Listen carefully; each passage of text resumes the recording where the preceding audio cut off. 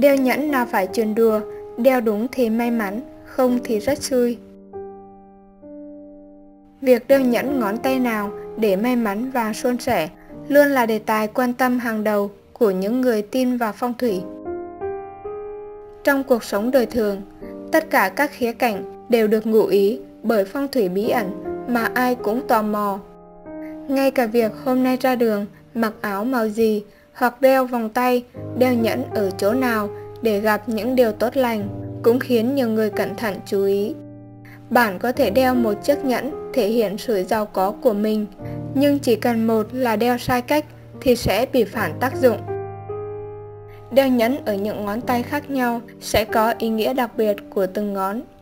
Trên thế giới, người ta thường mặc định đeo ngón giữa bên trái là người đã đính hôn. Đeo ngón áp út bên trái là người đã kết hôn. Đeo nhẫn ngón giữa và ngón trỏ của tay phải tượng trưng cho người độc thân đang mong muốn kết hôn.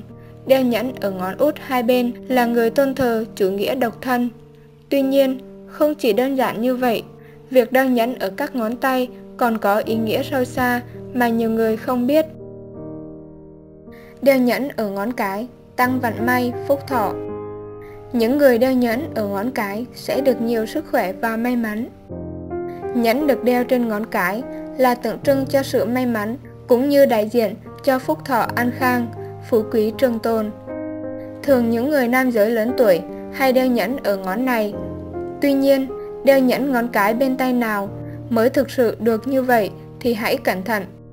Theo nghiên cứu của các nhà phong thủy, đeo nhẫn ngón cái bên tay trái là tốt nhất, còn nếu đeo bên tay phải, sẽ bị giảm phúc phận, vì tay phải thường xuyên làm việc và hoạt động sẽ làm cho nhẫn bị hao mòn và không còn giữ được nguyên vẹn như ban đầu.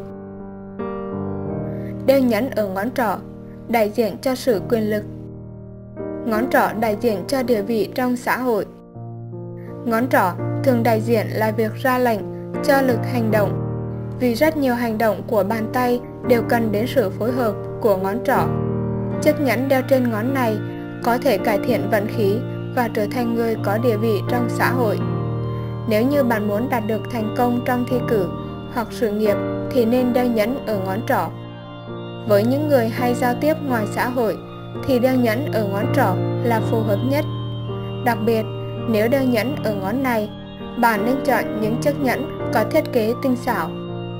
Vì điều này cũng sẽ phản ánh được sự cẩn thận của bạn trong công việc.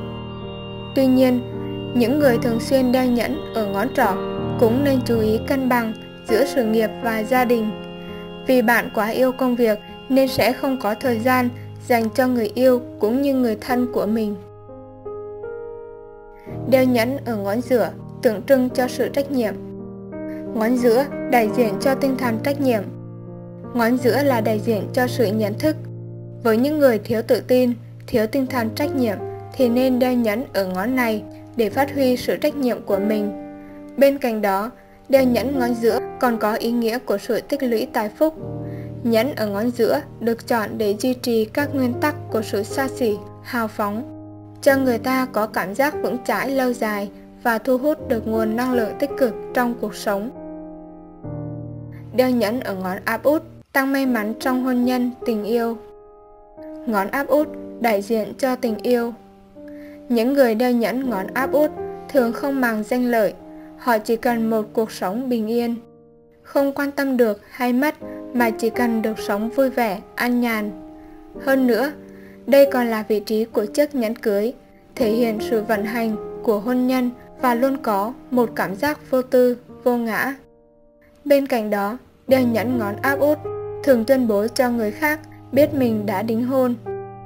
Nếu ai thật sự quan tâm đến vạn đào hoa hay đường tình duyên của mình, thì nên đeo nhẫn ngón này để tăng thêm may mắn.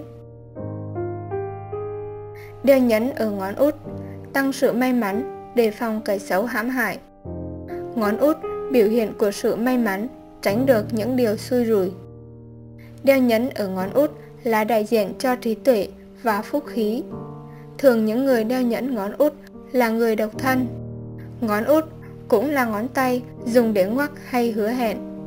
Nếu như bạn đang gặp xui xẻo, có thể chuyển sang đeo nhẫn ở ngón này để chuyển vần rủi sang may. Bên cạnh đó, đeo nhẫn ở ngón út còn có ý nghĩa ngăn chặn linh hồn ma quỷ, đề phòng kẻ xấu, tiểu nhân, tránh sự phiền nhiễu của khí ác.